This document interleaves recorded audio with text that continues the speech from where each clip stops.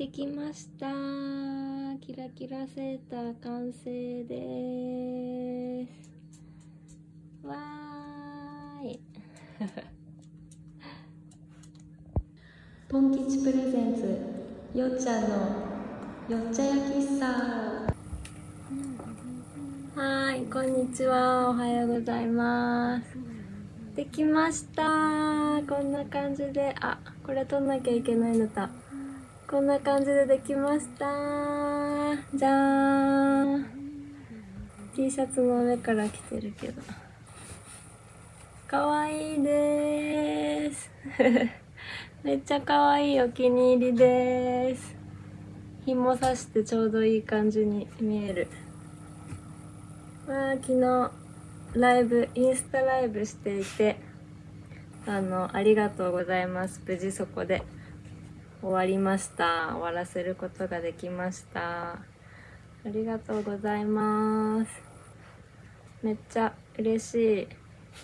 てかこれめっちゃ早くできて1週間くらいで編み終わったんであのー、ちょうど1週間だな。物足りなくってもう一個。お母さんに何編むかめっちゃき決まんなくて悩んでたんだけどこれもう一個編もうと思います。で色がねこれお母さんがこの毛糸がいいって言ってたからメインはこの色黄色マスタード？でちょっとネップが入ってるやつ。メインはこれでうん。でここはこれの私のこのメインカラーの毛糸が残っ結構余ったから2色でいくか。でもやっぱ白も入れたいなと思って。うんこんな感じで3色でいこうかな。2色。2色でいこうかな。うんちょっと迷ってます。これだったらまあお母さんもうちょっとで60だけどまあいけるかなって思うんだよね3色でも。でも2色の方がもっと大人っぽいかな。白入れると子供っぽいかな。うん悩む。もうこの辺あたりで次の色来ちゃうからこここ編むまでに決めないと3色にするか2色にするか。うん悩みますね。ここのあそうこの袖のところをね 3mm のミニ輪針で編んでもう結構ぎゅうぎゅうにしました。だから腕まくりしても落ちてきません。この落ちてくるのが嫌で私。もう結構いろんなこのスウェットとかこういうセーターここが落ちてきちゃうから嫌だなと思ってたんだけどいつも輪ゴムで留めてたんだけど自分で作るとこういうのもできていいですね。でちょっとねここのリブを長めにしてこの可愛い糸を見せびらかせるようにここを長めにしました。そんで一目ゴム編みでしっかりフォールドしてくれるようにしました。かわいいね本当に。お母さんに編む時はここはうん色変えないでそのままメインカラーでいこうかなとかも思ってんだよね。こことかも。全部メインカラーで柄はここだけにしようかなとかも思ってるけどどうだろうなんかこれがあるとちょっと子供っぽいかなとか思ったり。まあいろいろ考えながらこれなくてもねこの色だったら子供っぽくなんないかな。なんかちょっと若若め？このデザイン。袖とか裾とかに。うん。若くなっちゃうかな。まあいろいろ編みながら決めてこうかな。本当さもっと編みたくて。楽しすぎ編み込み。模様編みもねすごい楽しかったんだけどチューリップセーターとかラナンキュラスとかでね模様編みしてどんどん模様ができていくのも楽しいって思ってたんだけどこの編み込みも楽しいってなっちゃって。そうね。本当に。どどの編み方も楽しいね編み物は。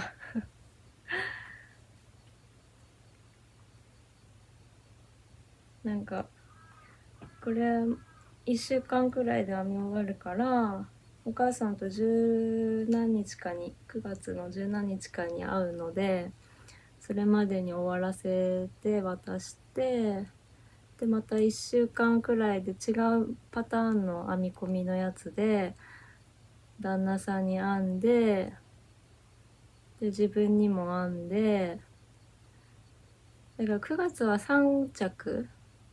お母さんのと旦那さんのと自分の3着編み作って 編み込みのセーター。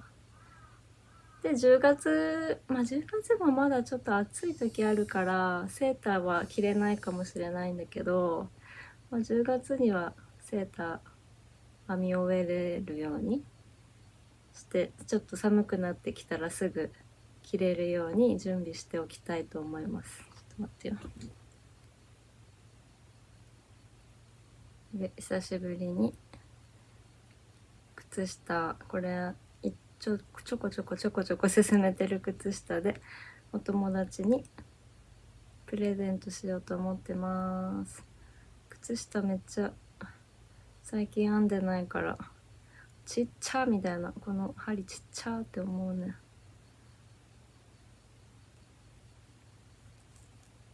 でえっ、ー、とキラキラセーターやって違うパターンのやつ2枚作ってそしたらカーディガンもね編みたいなと思ってカーディガンもなんかパターンレシピはいっぱい昨日買っちゃったのよ。3あ2着？カーディガンの可愛いなと思うレシピ。2着分買ったんだけどやっぱりよく分かんなくって。でも編みながらやっていけば分かるかな。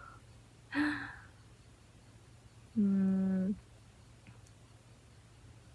編みながら分かんなかったら誰かに相談して。とりあえず挑戦してみないと始まんないかな。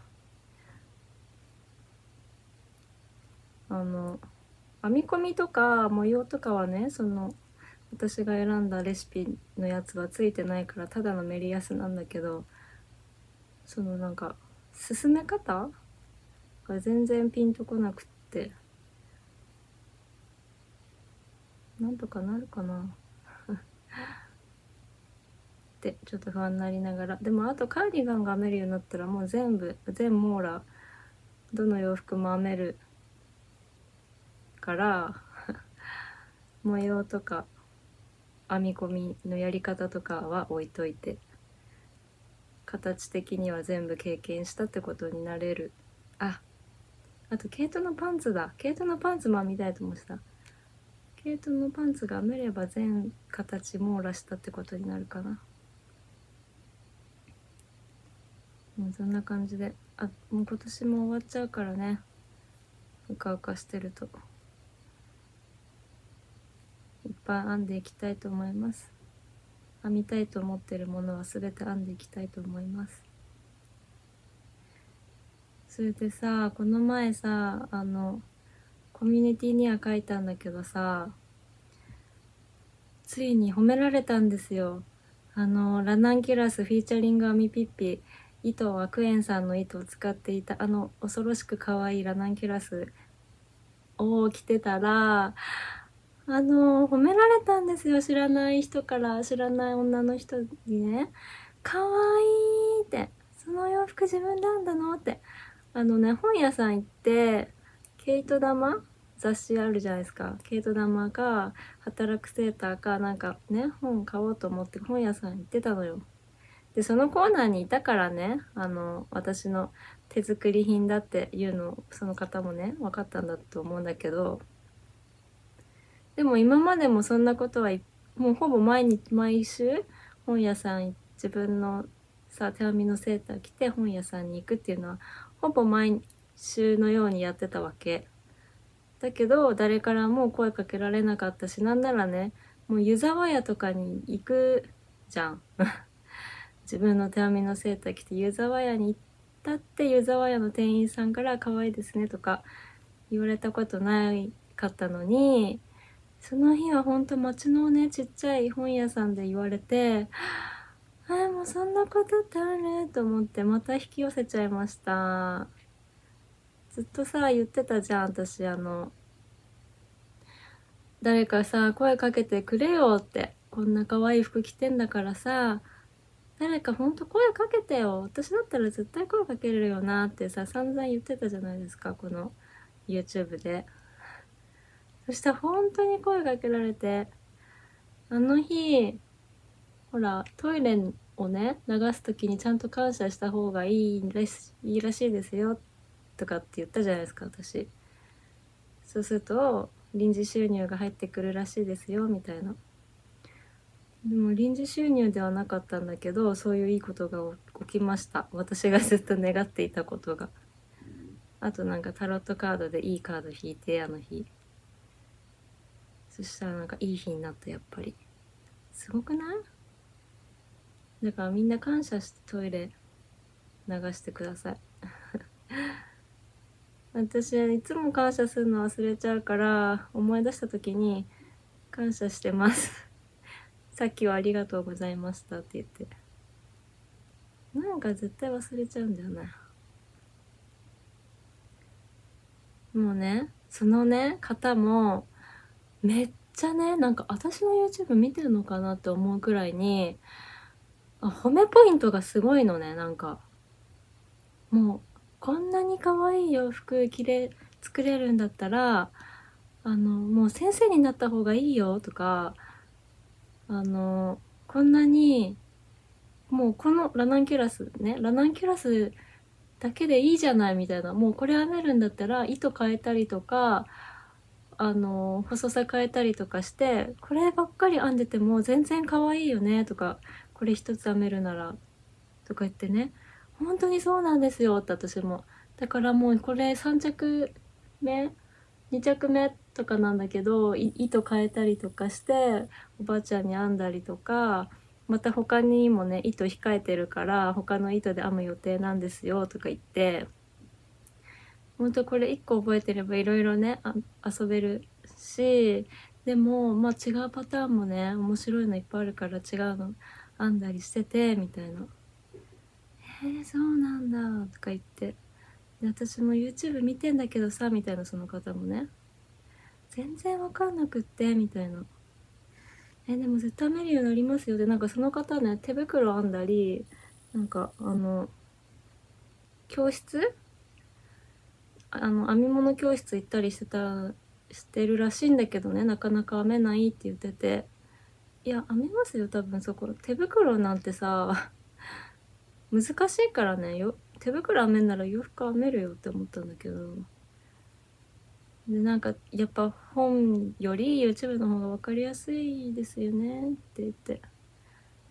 なんか自分のさ YouTube とかみんなの YouTube おすすめしたかったんだけどなんかとっさに出たのニッティングパーティーさんっていう言葉で ちょっとニッティングパーティーさんの宣伝しといちゃいました。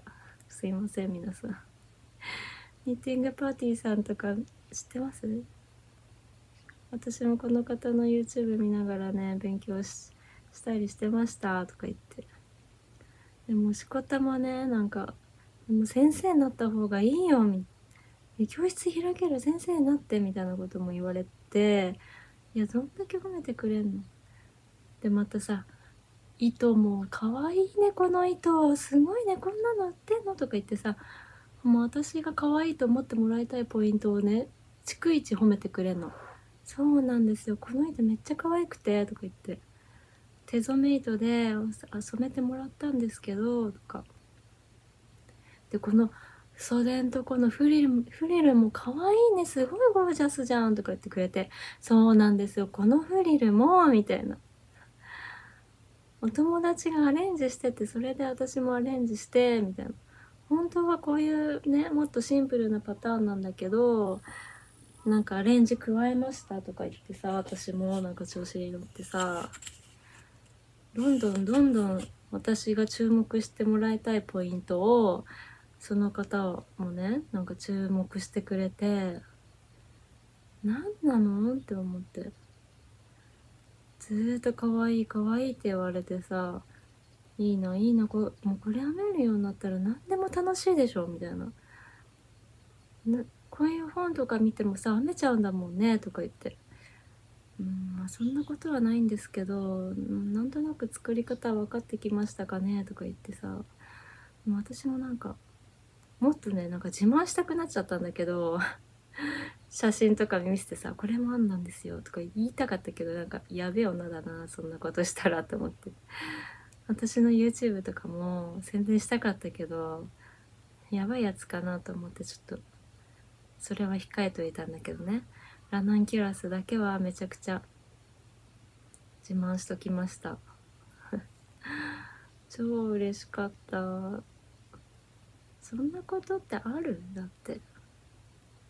いざさ褒められたい話しかけられたいって思ってたんだけど いざ話しかけられるとなんか挙動っちゃってなんか冷や汗冷や汗でもないけどなんか褒められすぎて恥ずかしい汗みたいなのが出てきて えー、なんかもっとねあの LINE 公開しとけばよかったかなとかなんかインスタとかやってんのか分かんないけど結構年年配でもないけど、まあ、私よりは確実に年上な方だったんだから なんか、うん、失礼かなとか思って連絡先交換するのも。でも私でよければ教えたしさラナンキュラスでいいなら全然教えれるしさあー教えとけばよかったかなとか後悔してうんでなんかでもまあ、うん、もうめっちゃ最寄りのね本屋さんだからまたその方と会えるかもしれないんだけどさ同じ日同じ時間帯同じ場所で偶然会うってなかなかすごいよねって思ってなんか運命感じちゃった。もう会えないかもしれないけどまた会いたいなでもまた願ってれば会えるかもしれないしまた会えた時は連絡先交換してなんか分かんないとことかあったら聞いてくださいって伝えたいけど。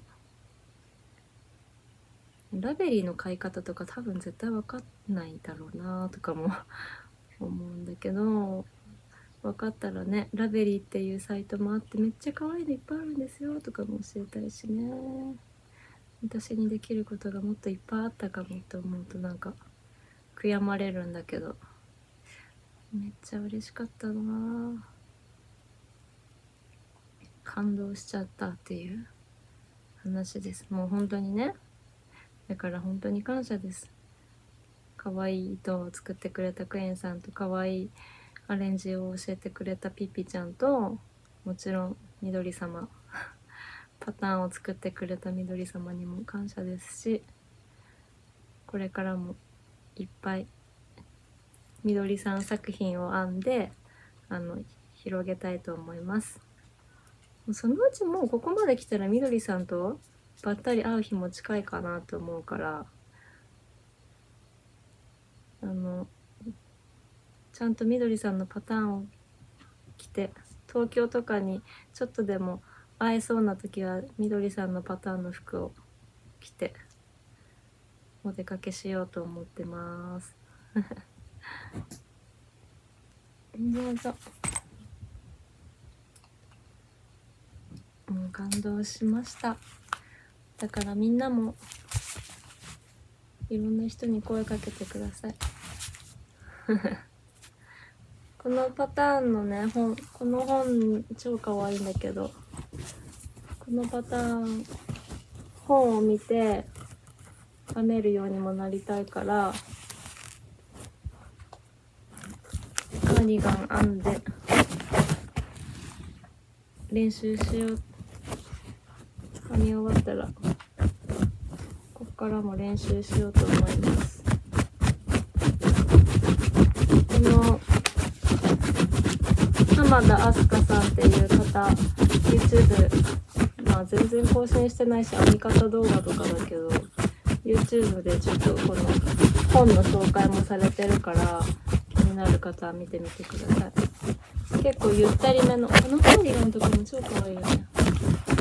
結構ゆったりめのデザインが多くって本が可愛いです。そんな感じで。あーポンちゃんが。もうか。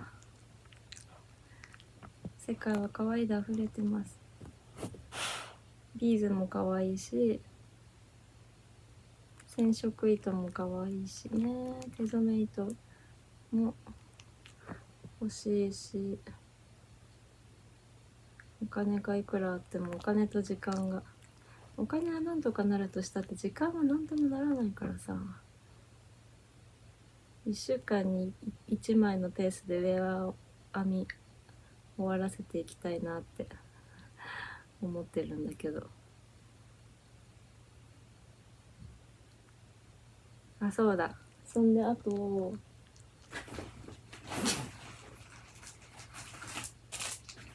の編み物グッズをいっぱい買いました。これねメルカリでなんか処分しちゃう人だったのかなあれは。いっぱいねこのめっちゃ古い針とかなんだけど1個100円とか200円とかで出されてて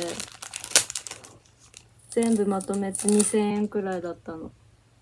12mm のこのタンバリ4 0ンチのタンバリ？タンバリ？ミニワバリ4 0センチってミニワバリなのかな？これを12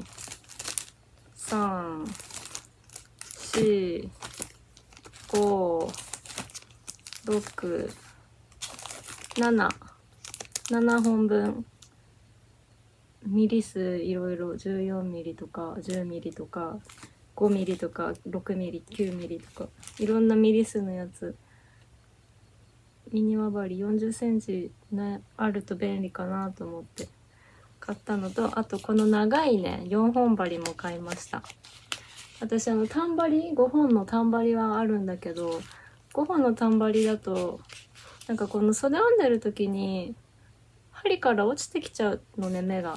落ちてきちゃう時もあってこれは大丈夫だったけど結構大きいふわっとしたゆるい袖にしたい時は5本のタンバリだと落ちてきちゃう時があるからこの長いちゃんとした普通の長さの4本針買いました。これも結構15号とか。0号買ってんだけど0号って使う時来ないような気がするけどなんか買っちゃったんだ安いから。あと 6mm12mm こんな感じで。まあマジックループで編んでもいいんだけどさなんか安いから買っちゃいました。こんな感じでいっぱいグッズを揃えたのでまたどんどんウェアサクサク編めるんじゃないかなって思ってます。はい。いっぱい。そんな感じで。皆さんこの前はあのー、この前の動画さコメントがなんか全然できなかった感じで。すいませんでした。コメントくださったのにね。なんか消えちゃってるコメントもあったしコメントできないっていうのもあってなんかすごいいろいろトラブルが起こってしまって申し訳ありませんでした。でも抽選をしたいと思います。この前ねコメントくれた方には抽選で1名の方にえっ、ー、とマーカーですね私が作ったこのレジンで作ったマーカーをプレゼントするということでしたのでマーカーをプレゼントしたいと思います。みんなさ、いっぱい教えてくれたの。シロさんは腹ペカアオムシが好きだようですね。シロさん。腹ペカアオムシ知ってる私も。あの、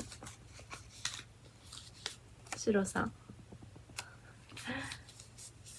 でもお話は知らない絵だけ知ってて。特殊能力があったら危険察知能力っていいよね。そしたらみんなを助けられるとか言ってどこまでも優しいんだから。そんなことを考えずに私はのんきにさ動物と話せるようになりたいとか言って。能天気バカ野郎だなと思ってたよ自分のこと。しここさんは泥棒学校だって好きな絵本ね。泥棒学校この可愛いい。あらすじを聞いているだけで。亡くなった人とお話ができる特殊能力が欲しいって。それ私も思ったんだよね。それを思ったと同時にやっぱ今を大切に今いる周りの人たちに感謝しながら大切に生きなきゃと思いました。亡くなっちゃうとお話できないもんね。ということでミスターしここさんね。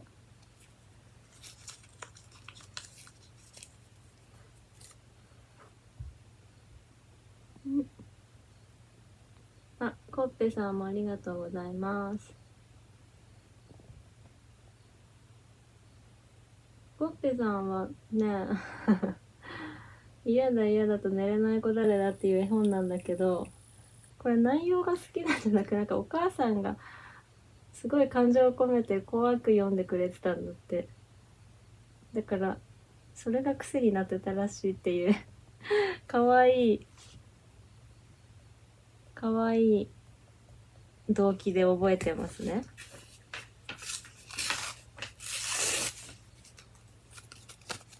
コッペさん。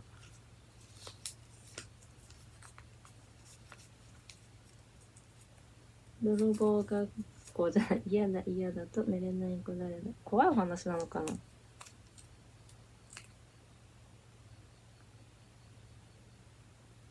うん。カズ M さんカズさん。うん。あカズさん自身は読んでもらえなかったけど息子さんに「カラスのパン屋さん」っていう絵本を読んでいているね。暗記できるくらい読んでるらしいよ。すごいね。私も暗記できるほど読み込んでる物語ってないけどさ。カズさん。いつかどこかで出会えたら読んでみよう。カラスのパン屋さん。カズさん。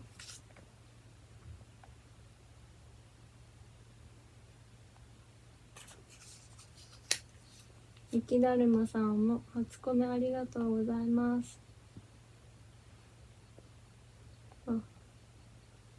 雪だるまさんはワニワニシリーズが記憶に残ってるそうですね。あ違う違う。これもお子さんに読んでるんだ。ワニワニシリーズ。ワニワニシリーズって書いちゃった。雪だるまさん。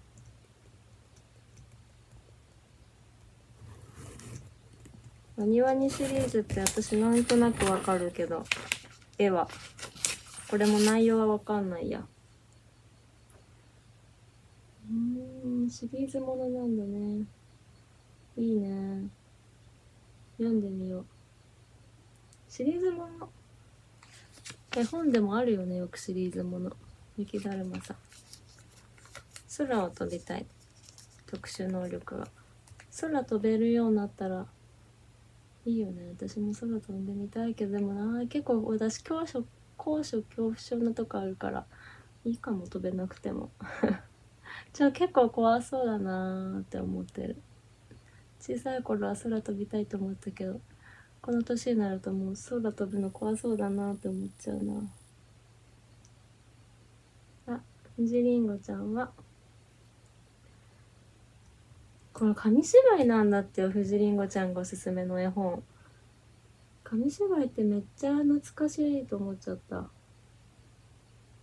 よくね読みに読んでもらってたんだけど紙芝居の幽霊雨貝幽霊。切ない怪談話みたい。やべこういう紙芝居って今売ってんのかね？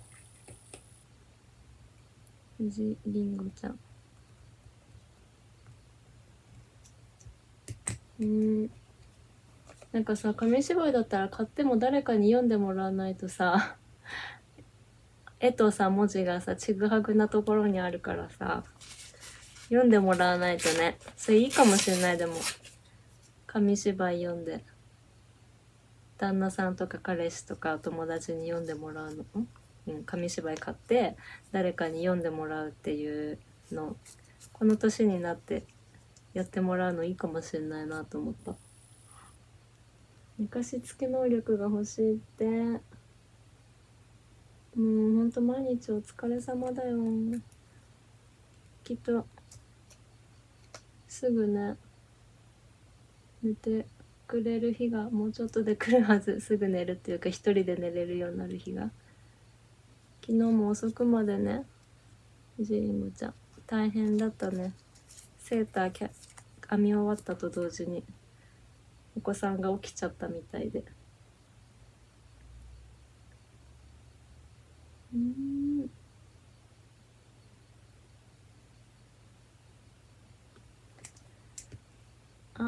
ああみぴぴちゃんは14匹シリーズ。これもシリーズもんなんだ。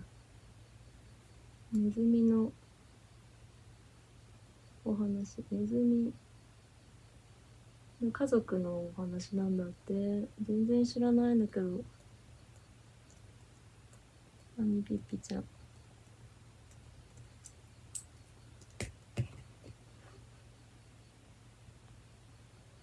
なんか誰かさグッドボタン押してくれてんのね全部のコメントに。ありがとうございます。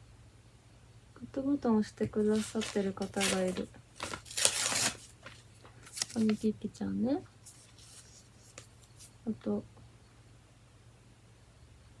グランマさん。あグランマさんもねあの違う動画の方にコメントくださってありがとうございます。これはコメントができなかったから違うコメントにコメントくれたの。グラマさん。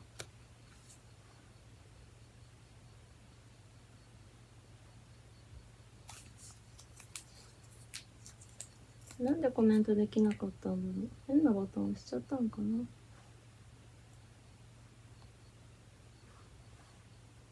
あとね鳥さんも鳥さんのコメントが消えちゃってるみたいで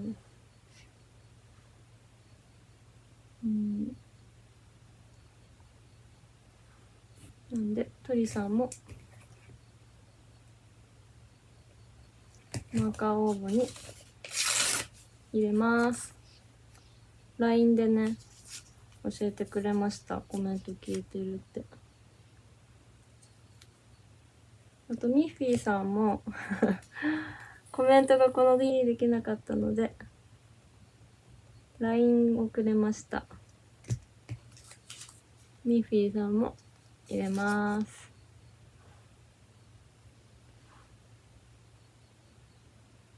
あとは大丈夫かなって思うんですけど。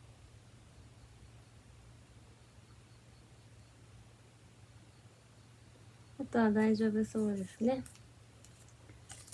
123456789 9、10。ぴったり10人。じゃあこのマーカー、じゃねえや。このボウルに入れて。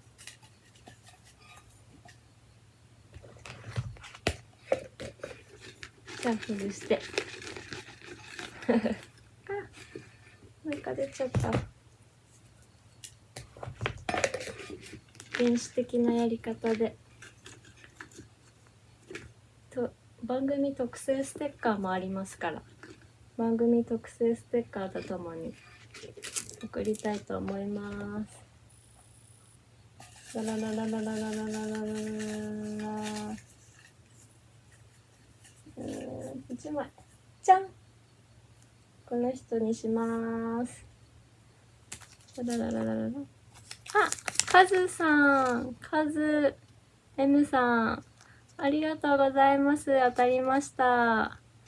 えっ、ー、と、私のツイッターか、インスタか、あと、公式 LINE の方登録してもらうかで、あの、住所を教えてもらえればと思います。送らせてもらいます。